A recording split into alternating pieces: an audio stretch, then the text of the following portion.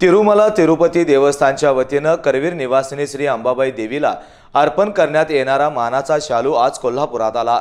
तिरुमला देवस्थान समितीचे अध्यक्ष सद्बा रेड्डी आणि प्रीती रेड्डी यांच्या हस्ते आणि महाराष्ट्राचे प्रभारी मिलिंद नार्वेकर यांच्या उपस्थितीत मानाचा शालू मिरवणुकीनं पश्चिम महाराष्ट्र देवस्थान समितीकडे सुपूर्द करण्यात आला आहे दुपारी बाराच्या सुमारास तिरुपती देवस्थानचा मानाचा शालू आणि शालू बरोबरच देवीचे अलंकार कुंकू असे साहित्य वाजत गाजत मंदिरात आणण्यात आले. यावेळी देवस्थान व्यवस्थापन समितीचे सचिव शिवराज नाईकवाडे उपस्थित होते.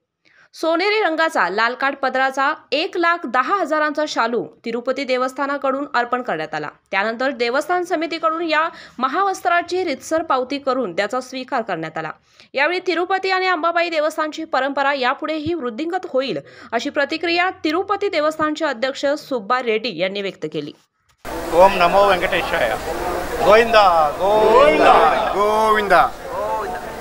आज नवरात्रि शुभ संदर्भ में, हम बालाजी से हर एक साल लाता माता के लिए, महालक्ष्मी माता के लिए वस्त्र लाता है, पट्ट वस्त्र। ये आज हमारा मेंबर्स के साथ, हमारा पूज्य पुजारी के साथ इधर माता जी को वस्त्र ऑफ़र करने को, वस्त्र देने के लिए आज इधर तिरुमला से इधर कोल्हापुर माता का पास आया होगा।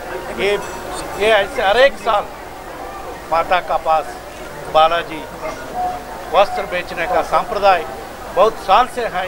वो सांप्रदाय आगे लेके लेके जाने के लिए हमारा गवर्नमेंट पूरा कोशिश कर रहा है। इसीलिए हम आज इधर माता के लिए वस्त्र लेके आया और आगे जाने के लिए बालाजी का मंदिर बनने को भी Maharashtra government land allot KIA.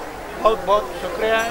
वो ये साल में माँ बालाजी का मंदिर आपका मुंबई मुंबई नगर में फाउंडेशन को को लेने के करने के भी हम कोशिश कर रहे हैं। तर अशाच ताज्या अपडेट्ससाठी speed news live twenty four चॅनेलला सबस्क्राईब करा आणि बेल आयकॉनवर प्रेस करा.